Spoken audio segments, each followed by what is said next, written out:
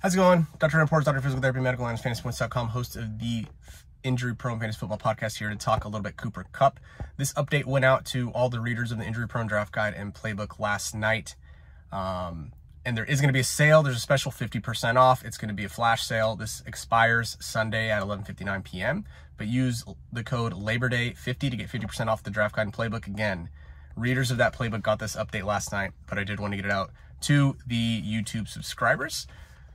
Cooper Kupp, according to Sean McVay, had a setback during his hamstring rehab. He's now considered day to day. That's probably going to be at least another week for Cooper Kupp. Since 2018, wide receivers of Cooper Kupp's profile have missed an additional 1.55 games after their recurrence. In other words, they miss time, they have a setback, and then they miss time again. That sample of wide receivers has missed another 1.55 weeks. So that's exactly probably what we can expect from Cooper Kupp. That means week one is very much up in the air. It's very much a coin flip. Week two or three is much more likely, uh, if not possible at, at, this point, much more likely. Um, this happens. These things happen. The NFL has an, a 30% recurrence rate in terms of hamstring strains. He is 30 years old. We know being older, and we know a previous history of an of a hamstring strain is, of course, a risk factor or risk factors for another hamstring strain.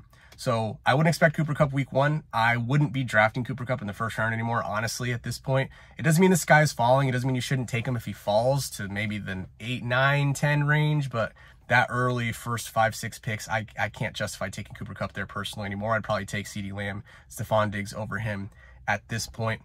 Um, so yeah, that's really what we have on Cooper Kupp not drafting him. He had a setback. Setbacks are not great. And just because he had a setback now doesn't mean that he can't have another one moving forward. The absolute floor scenario for Cooper Kupp is he gets shut down midseason because this thing just won't go away and the Rams are not good. Uh, make sure to subscribe. Make sure to leave a comment what you think of Cooper Kupp, uh, whether you're drafting him or not. I'm personally not. And use promo code Labor Day 50 to get 50% off the injury prone draft guide and playbook. Thanks again.